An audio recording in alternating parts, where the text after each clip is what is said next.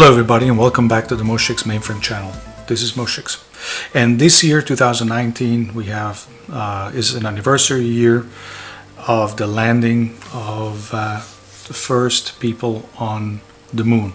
And um, uh, I still I remember that time. I don't remember the moon landing itself, but I remember as a small child looking up to the moon, trying to understand what exactly had happened. And so, uh, the, in the meantime, since the moon landing, a lot of new uh, information has come out uh, about the moon landing, especially about the lunar guidance computer, which you get some glimpses of here during in this uh, in the scene that you're seeing here on your screens. Uh, uh, there is uh, there was a, a computer, a single computer on the on the descent module, and there was one on the command module. Module that was uh, that was in orbit around the moon, and um, and uh, the those two computers were running uh, different uh, versions of software. One was of course for the orbiter for the command module, and one was for the descent module that. Um, that uh, which eventually landed on the moon. And so that we even have access today to the software that uh, was running inside the guidance computer of, uh, of the descent module. And uh, we have the full source code and we have it also uh, nicely commented and documented by one of the main people who wrote the software, uh, one of the main programmers. There were many, of course, but the person who was particularly involved with the lunar uh, landing software called Luminary is a very interesting engineer called Don Eyles, and I just recently connected with him.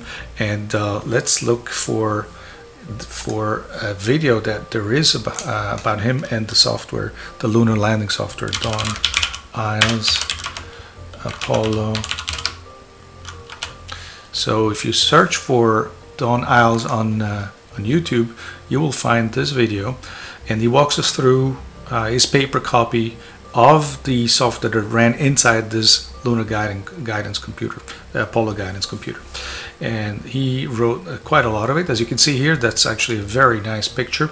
Uh, this is printed, of course, on, uh, you know that I have a kind of a fetish for mainframe prints by now I think a lot of people know and so I was of course immediately drawn to this video when I saw that because it shows this uh, code uh, written in an assembler which I don't know because that's uh, the assembler of the of the guidance computing architecture which is somewhat similar to the has some similarities to the S360 uh, architecture, but not that many. Uh, so I, I, can't read the assembler. But for me, it's very interesting that uh, you can see this is was printed on a 1403 uh, IBM 1403 printer on a, probably on either an S360 or an IBM 1401 mainframe. Even though I don't think that NASA had many 1401s, but they definitely had a bunch of IBM um, S360 Model 95s in uh, Houston. And so why do I know this is a 1403? For me, the T's always gives it away. As you can see here, the T is just a small crossbar and then the longer bar of the of the uh, of the T itself. And there is no any artifacts at all. It's a very simple chain. As you can see the T's here, uh, that kind of always for me, those gives it a give it away, and the zeros as well uh, those very nicely oval but with with a particular length to it and so I've always loved this uh, this font and as I said now we can also get on github the the full Apollo 11 software and if you search for that we can find the software of the guidance computer. And we have Comanche which is the command module software and Luminary which is the lunar landing software itself. And uh, so what I thought is that I would like to get uh, the full repository here upload it on a mainframe and then print it out on a 1403 uh, green stripe fanfold paper uh, so that we can have the full look. Now I do have a matrix printer, uh, 15 by 11 inch paper matrix printer that can load green stripe fanfold paper, which I have uh, in my in my office, and I can print stuff there. But unfortunately, I cannot print out 1403 font uh, on a matrix print because it's just ASCII and so I cannot give it any any font and uh, the rendering of fonts even if I would would be because it's only 9 pin matrix would be uh, wouldn't look very good. So I thought that what we could do is upload this old software the Apollo lunar landing software. Let me give you one remark here. By the way um, one nice thing here we can look at there's this very famous uh, thing that happened during the first lunar landing where there was an error 1202 being uh, put out by the guidance computer and then during this video we'll go and see what happened there exactly because in the software we'll find what throws that error. But let's just look at any um, any kind of uh, uh, landing analog displays. Okay so here's the source code. Let's make it a little bigger. Um, of uh, of the software that shows on the display what's going on during the landing. So you can see here this is assembler. This is um, uh, the assembler of the guidance computer. It had only, if I am correct, it only had two registers, but I have a book about it and I need to, I don't, I read it, I don't remember the architecture very well, but there were banks of memory because there were only, there was only so much memory could address, you could switch memory banks. Um, and so um, add uh, address memory in the different banks. And that's why sometimes you see banks uh, being mentioned uh, here like here right? There's nothing to do with a money bank. This is a memory bank. Anyway you would have to read on that but our goal for this video is to uh, put it bring this all up uh, this whole repository on the mainframe and then print it out in nice beautiful 1403 font on green stripe fanfold paper. Uh, how do we do that? First of all I went and some people know that I actually bought um, the 1403 font for Windows. Uh, some people sell that and if I look for Kellem 1403 font, uh, here's this person with whom I've had very interesting conversations. Jeff sells the 1403 vintage font for $90. It's a little steep for a font, but um, if you have, it even does it in Hebrew. it's very nice, and in Russian. Um, but if you have a passion for things, then ninety dollars is something that uh, can be afforded. And so I went. The, you can also have the limited subset for forty, but I got the uh, the full one for uh, ninety dollars. So I have it and uh, downloaded it. And here's the font, as you can see here, the T's kind of the giveaway for me of uh, the 1403 font. I'll install it now. So it's installing the font in my computer and now it's installed. Okay. So the next step will be how do we get this into the mainframe. Uh, we'll deal with the font later, but for now let's get the repository into the mainframe. So I have a connection here to my uh, Linux uh, jump um, computer. I have like a, a, virtual machine with Linux that I always first connect to when I have to do Linux stuff. And, um, and we're going to go and get um, the repository from GitHub. So um, here it is. Let's go and copy the whole repository. Where is it?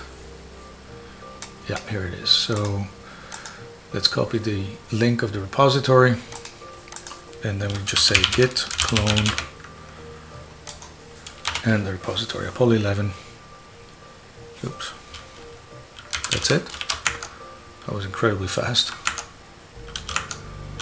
Well so let's start with printing out the luminary with the light the guidance uh, software for the lander for the for the descent module.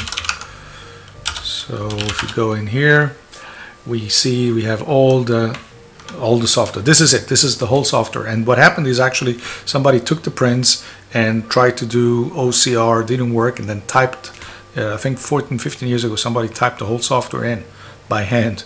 And uh, we're talking about a lot of lines. So um, let's actually see how many lines he had to type. So yeah, 65,000 lines. Uh, that's uh, that's a lot of typing. Um, and then uh, when he first tried to compile it, because there is actually an assembler for it that we can run on Windows and I think even Linux, it actually assembled uh, correctly the first time, so there were no spelling mistakes whatsoever. So we know this is the correct software. That's why this makes it so important on this very uh, important year, um, in the 50th anniversary of the landing of the first uh, man on the moon, um, Neil Armstrong and Buzz Aldrin. So uh, let's get this out. Now, one problem that you see here is that these files are much too long to put on, on a mainframe, right? Uh, we only, uh, we don't have such long file names, so we have to make this shorter, and then we need to decide where we're going to put it. So let's go uh, here. I have a ZOS instance. I'm connected to the ZOS mainframe. Uh, let's go and create a repository, uh, Luminary source.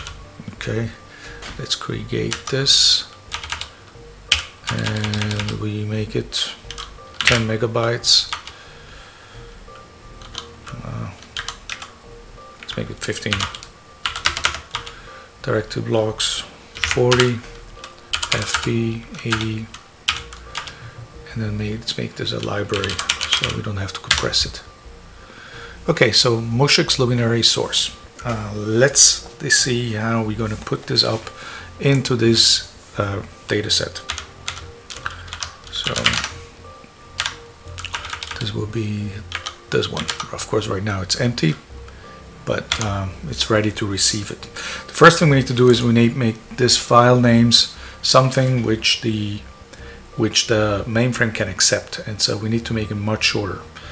And uh, I think the way that we're going to make this shorter is by giving each file a random number and appending a letter or uh, putting a letter before the number because file names cannot start with a number or member names cannot start with a number in ZOS. So we just put a letter in front of it and uh, and this should just very nicely make all the files unique and of course we lose the title um, but in the print we're not going to print the title anyway. So how do we do that? So there is in Linux um, there is a, a way to produce a random number. If you just say random it will just produce any random number. And of course it takes the random is taken from uh, there should be a random device here. Uh, well maybe not in this version. Uh, but uh, we can see that every time we do that it's a different number. But it's always between 1 and 99,999 but we don't have this many files. And if there is a collision uh, the we can put in the script so that uh, it will catch this condition. So let's write a little a little a little um, script uh, that does this. So uh, let's make it a bash script which as you know I, I don't like bash so much for scripting because it's a very very slow shell and it's not so not 100% uh, POSIX compliant.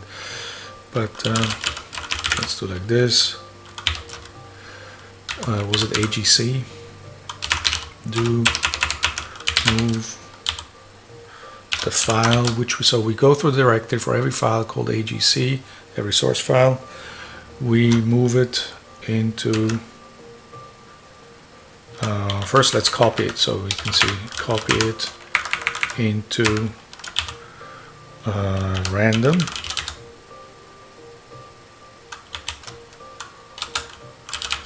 Done.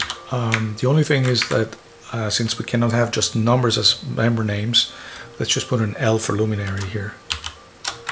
Okay so this should now if we execute this will all the source files will become um, L and the random number. So uh, yeah, they're all called AGC. So bash uh, temp convert. Let's see what happened. Yes, so okay, this looks like it converted it nicely. And we didn't get any error messages from duplicate file names. So that's that's good. So um, or would it? Maybe we'll just copy over it again. So I think what we need to do is count the number of files and then see if we have the same amount. Um, so let's go and do this. Mm. Let's start again from scratch and let's go get the GitHub again.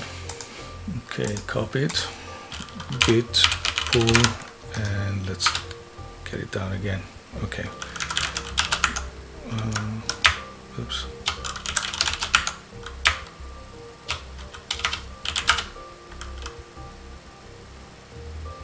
Hmm.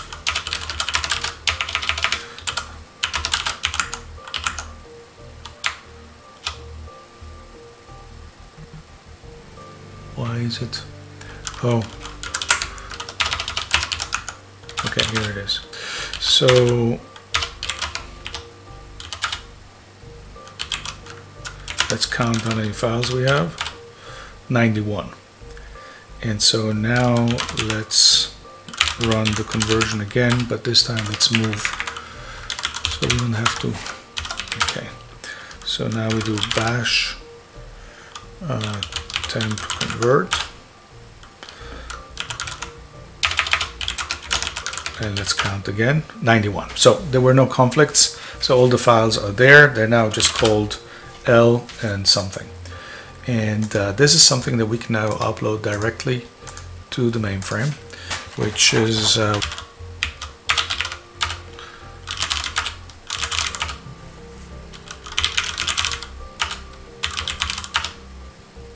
Okay, so now of course we need to set first of all ASCII because we're uploading ASCII into EBCDIC. Then the second thing we need to do is prompt off and then we go to Moshix Luminary source which is this data set here, right? Okay, and now we just say input all and uh, this will work now a little bit. So we're doing 22 megabytes per second, which is not bad.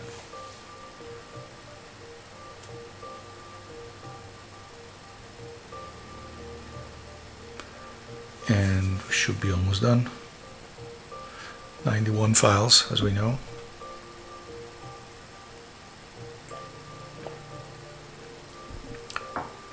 Um, go see what's going on here. Yes. There. Okay.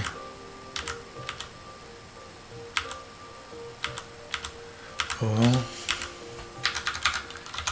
they're there, but it looks like the formatting has been ruined. Why, why do we have these dots here? So,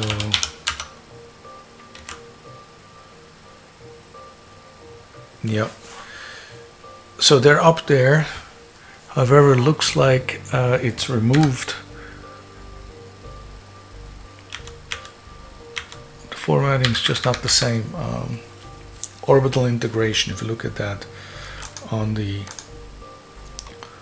let's go here, luminary, orbital into, what is it, orbital something.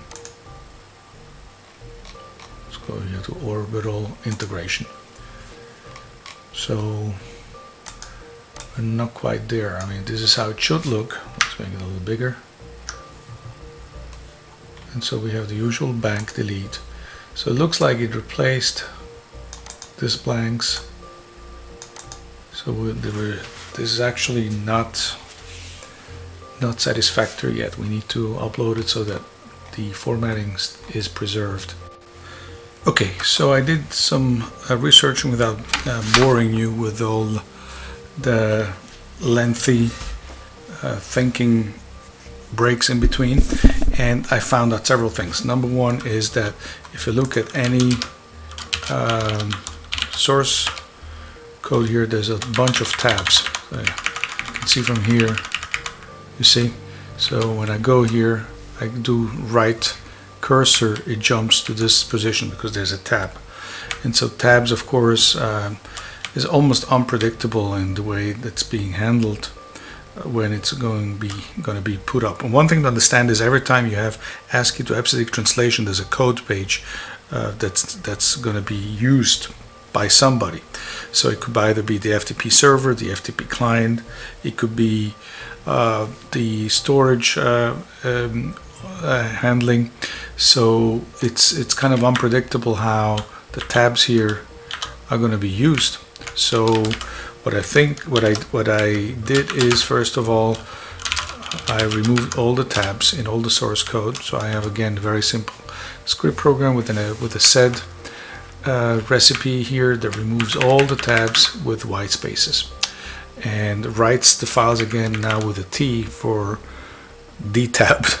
Um, and if we put this up now, let's see what the result is. Oh, and then one more thing is I removed all the trailing uh, white spaces. So um, if you look at this, I then also removed all the trailing white spaces at the end of the lines. So every, li every line ends with the last printable character. Uh, so we can try now to put this up on the mainframe. So let's see what comes out. Okay, so uh, ASCII prompt off. Excuse me. And we go to Moshix uh, luminary source and we say input multiple put all the detabbed ones okay so now it's doing that while it's doing that let me show you something fun um, let's go into this directory somebody wrote a fluid dynamics application that's in ASCII. So this is like water and it shows the behavior. And they actually has, it's a, uh, some person in Japan, Endoh,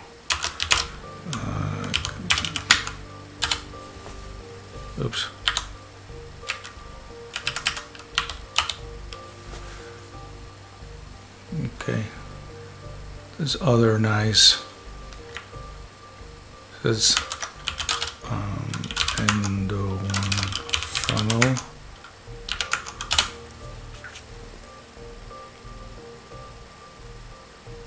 Just something funny. Look at endoh you can find it on github somewhere. There's more. Um, we can use pour out yeah And the funny thing is that Endoh itself, the program is in C, but in obfuscated C. So, and it's also written itself in this fluid um, shape here. So, but this is this is value um, valid C code, just highly obfuscated as you can see, but it works. Um, so this is fluid dynamics. I mean, this is real fluid dynamics and it's highly obfuscated. I mean, this is work of genius. When you see genius, you recognize it, and you have to, and you have to uh, praise it.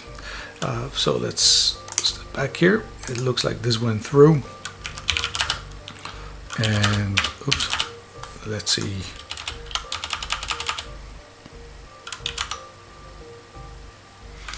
Now we can take any one of those.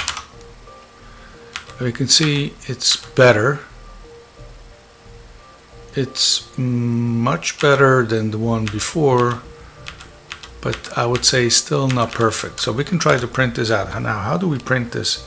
Uh, all we have to do here in this case is we start Herc print which is um, this uh, very nice printing application by uh, Fish, who's the one of the two or three top contributors to the Hercules project. Uh, Fish SDL Herc print. I've spoken about this utility before. Herc print, you pay, I think, it's like $19 to buy it. Oh, here it is, uh, $15. It's probably, the, if you do a lot of mainframe stuff, this is the best $15 you've ever spent. Uh, it produces beautiful output and we're going to get a, um, a, sample out of that. So it's very simple to install. Installs on Windows, unfortunately, only. Um, and but I think it can also be installed on Wine on Linux. And then once you install that, you launch. Oh, here it is. And you just tell it to which um, internet address to connect, which port, and then you give it the um, the formatting option. So let's say I want to have green bar as it was um, in the Don Eyles video. I want to embed the font, and now we can use the font that I bought, the 1403 Vintage. You see here. So I can use this font, I embed the font, and that's important because in PDF you can embed the font, uh, which is, or you cannot. If you don't, then only you will be able to, only the, the same computer that has the font installed will view the PDF with the correct font. Everybody else will use their default font, font on their computer.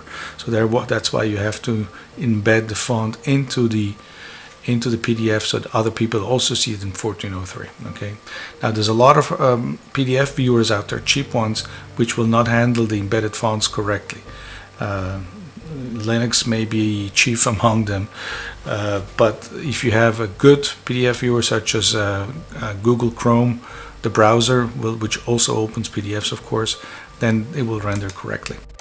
Okay, so we're connected now and uh, we can now make this, well, let's put it here and keep an eye on here because when we have incoming print jobs coming from class A on ZOS, uh, will, we will receive them here and it will say that it's working on it. And since we're going to now have a very big print job, I'm going to print all these members out. Uh, it's gonna it's gonna work on this here a little bit. So keep an eye on this. And we go out now. We could use a we could use an IEBGENER to print out this uh, PDS. That would be that would be one way. Um, or I can think probably five, six different ways to print this out. But one of these is once you just write in P and it's going to work on it a little bit, but it'll print out all the 91 source files. So you can see here it's working on it and keep an eye on this uh, as soon as we so for when you're an interactive TSO and you print out something it only sends it out to print once you log out because it needs to process the SYSOUT of the TSO logon procedure right so I think I think that's obvious, right? So uh, so we'll we'll finish this and then we'll we'll log off and you will see you will receive the print job, hopefully, if everything goes well.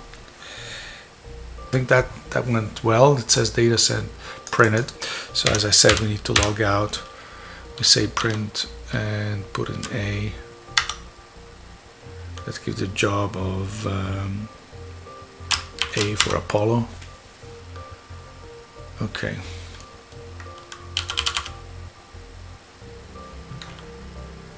Let's log out and let's keep an eye on this here.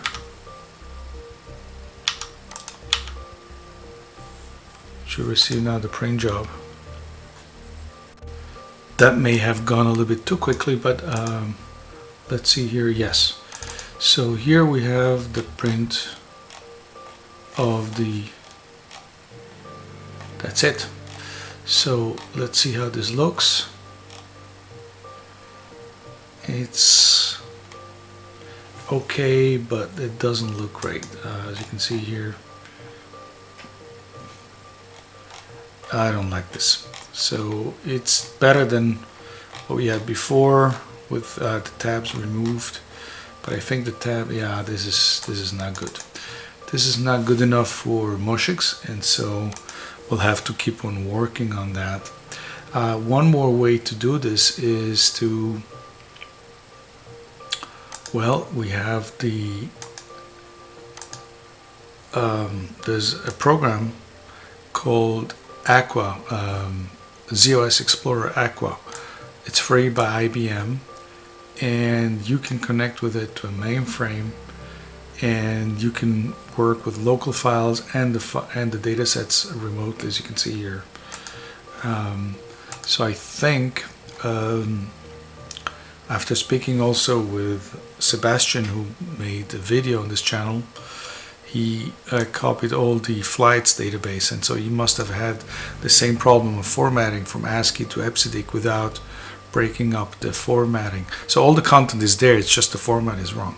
So I think what we came up with is that we just put all the 91 files into one file and then using z/OS Explorer we copied over to a single sequential data set.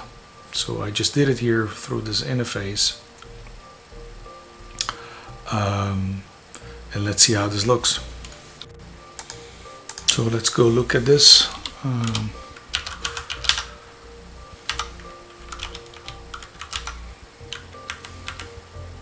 yes, so this looks much, much better. As you can see here, the formatting is all correct of the assembler, of the guidance computing computer assembler.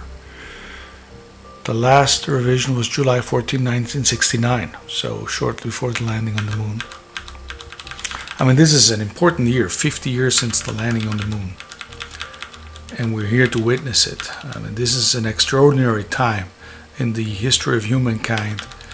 It's been only 50 years since we were able to land on a on a uh, on a body outside Earth isn't this incredible? I mean, to me, this is just amazing. And this is the software that made it possible in assembler, my favorite language. So, as you can see here, some of the language here is very similar to the S360 because the, the guidance computer was actually made by IBM. So they took some elements of the architecture of the S360. All right, so this looks perfect. So how do we print this? So there's one quick way to print this, which is to just say P and maybe we make this blue so we can keep it apart from the others I like blue stripe better um, and when I worked in mainframes back in the 80s in the military we actually used blue stripe uh, not green stripe uh, green stripe was more for COBOL and uh, we work with PL1 so maybe that's why I don't know. Okay so it's still connected. Um, let's put this here on the side. Maybe we can remove this also by now. And let's make this a little bit bigger. So now we have data that we can print. Let's print this out, but I also want to use a batch program to print it. Because if you print it like this, you'll have always the data set name at the top of each page, which, um, which is not perfect in my eyes. So as soon as we're done with this, we're going to get, uh, you're going to write the little batch program to process this and print it out. And also when we process it in batch, we should get the immediate print out without having to uh, go through the log off procedure. Should be done in any second now. As you can see, it's 4.34 a.m. I've been working on this now for about 18 hours, believe it or not. Uh, not that simple to get nicely formatted ASCII reports to go into EBCDIC mainframes and keep the formatting right. Not at all simple. Okay, so this print, this is done. It will, it will print now the next time we log out of TSO. But let me go and make a little uh, job. Print it. And I have it here somewhere.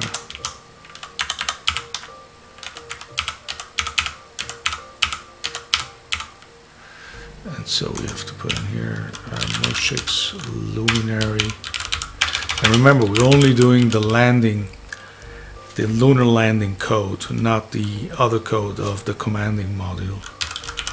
Okay. Uh, equals share. Okay. Print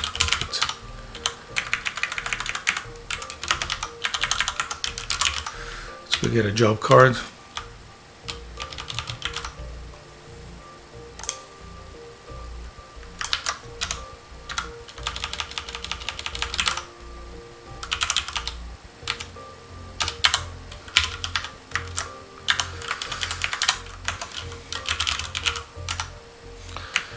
Okay.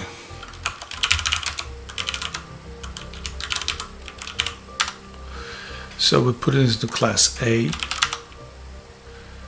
and this should just work. Let's uh, go check again the name. Yeah let's copy here for good measure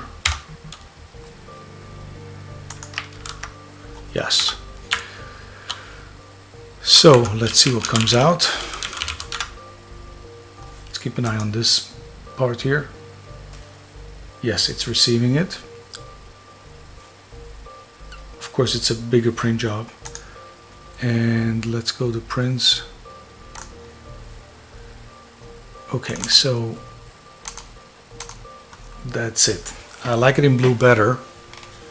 We can try the same thing in green just so we can compare it to each other but you can see here I have the 1403 uh, uh, font. Let's go green. Apply.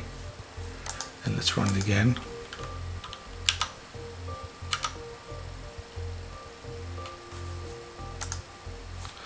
Let's say luminary GDC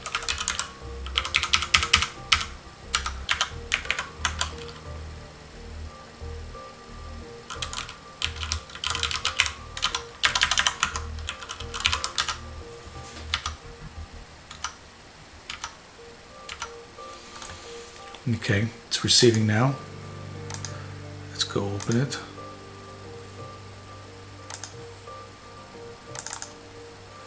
Okay, now I'll let you judge which one you like better. This, go full screen, this output. As you can see now, it's perfectly formatted. Fantastic. That's the way I want it. If you like like this, I guess it, it's a question of what you're more used to, or this. I personally think this looks better, more professional. This looks a little bit too COBOL for me. Uh, I was never much of a COBOL programmer, as you all know. But what I like about this print is that it says here now Luminary, job 14A3, and here it only says Moshix. So um, I think I'll, I will, what I'll do is I'll print up both in green stripe and, and green stripe and make it available um, for you to download. Um, I'll put the link in the description below this video so you're welcome to download it and print it out on your own printers and then you have the full code of the luminary uh, landing code. Now one thing we want to do is look, we, I promised that I would look in this video of what caused the 1202 error during the final stages of landing on the moon. As you can see here, it's executive overflow, no core sets. And I did some research and what this was is that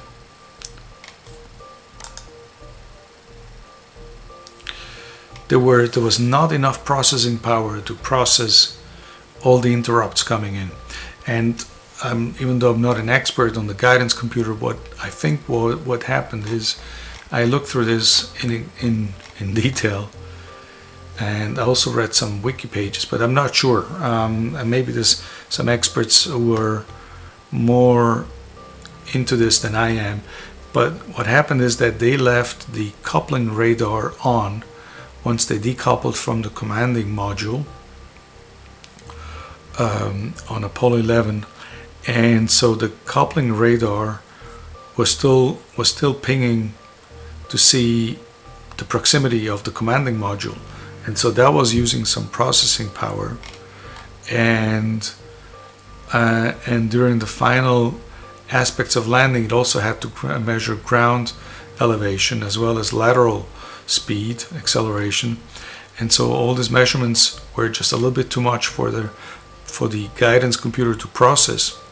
And so 1202 means it was just dropping interrupts that's how I read it. But again, I'm not an expert and I welcome input in the comments below this video on on on if, if, you know if I read this right or not. Here you have the formula by the way. Very simple formulas. And one more thing I would like to mention. We like to calculate pi to millions of digits below, be, um, behind the comma Did you know that uh, NASA for the last 50 years has been operating with six digits of pi uh, behind the coma? That's all they work on, six digits of pi, uh, which is enough to get us far, far, far beyond the uh, solar system within our galaxy and still navigate correctly. So you don't need more than six or seven digits to navigate within our yeah, within our galaxy. I think you can navigate to the other end of the of the universe with I think 10 or 11 uh, uh, digits be, uh, uh, behind the comma on pi. So um, just just saying. Um, so this video is not as much about how we got this printed, but also about the amazing code that landed uh, people on the moon. As a human, as a, as a programmer, as an American, I'm so proud of what we accomplished, and um, and so. Uh, this is just simply amazing that we have the code here to look at and understand. And it's very simple code. By the way, um, one page of, of code is about one millisecond of execution time. That's what Don Eyles told us. So uh, hopefully he will see this video and he will correct me uh, everywhere I'm wrong. But I'm very, very proud that we have the printout of Luminary. Now I think the only remaining thing is to print out the Comanche, which is the command module software, which is of course very different. There it's about going around the moon and going back to Earth. But I will do this as well, and then I will print it out at my local printer, and then I will have both the command module software as well as the landing module software, um, and I will bind it and I will uh, spiral it and uh, maybe something to hand over to our kids. I mean, who knows if uh, 20, 30, 40 years from now, people will be able to still print out uh, this kind of stuff. Maybe yes, maybe no. I mean, this is important enough historically maybe somebody will undertake it. Just like 10, 15 years ago, somebody undertook to take it from printouts and uh, and put it back again into ASCII code, and now we've done it. Uh, mm, I don't know, uh, maybe for the first time in 50 years back into EBCDIC code. Uh, I will also, for people who send me an email or inquire me on uh, uh, on on our Moshix channel on Facebook. I'll also send the data set. It's rather rather large because as you know it's 91 data sets, but um, I'm also willing to make the uh, the mainframe EBCDIC coded data sets available in this kind of format. I think I may be wrong, but this is the first time in 50 years that uh, the assembler is back again uh, in EBCDIC code on the mainframe as it was uh, just before the moon landing. So uh, with this, uh, let's just reflect again on the huge accomplishment of humankind, of engineering, computer science, and the IBM S360 architecture, the mainframes that put um, mankind on the moon. One little step for man, but one giant step for computer science and for the S360. Thank you very much and goodbye.